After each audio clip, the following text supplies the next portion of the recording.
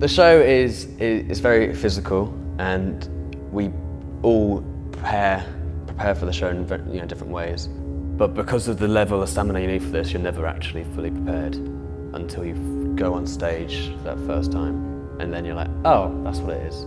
You need to train your stamina, you need to to be physical and just uh, you really understand it when you're inside. So after one show, you know, like you will have to do it the other day. So we have to keep on top of our fitness, especially maybe when we have a few days off, just to top it up. For me, it's it's the it's the the dread before going on stage because you know how the process and the storyline of the piece and how much physical exertion and um, energy that needs to be put in, and it's kind of like, am I going to survive it this time?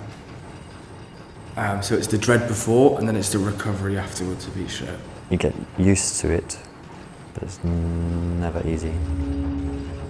The best thing for me about being in Coal is that I get to um, really, really look into a role um, and have the time to do it and on great big stages, which is a, a real privilege.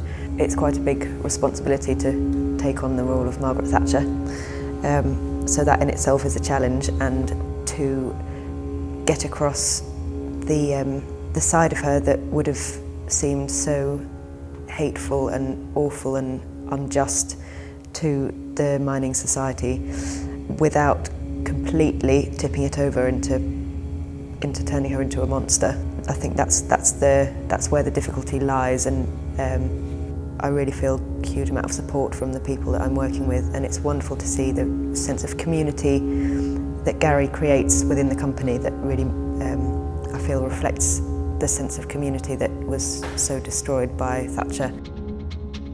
It's always tricky being a new one, um, joining into a cast, especially these lads have gone through the whole process of making coal, going through all from right from where it's completely blank canvas right up to the, this product.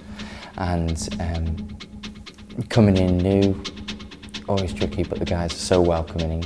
I think one of the things I'm most excited about is having my friends and family, and especially my mum, come to watch this piece because from my mum's side of the family, they were miners.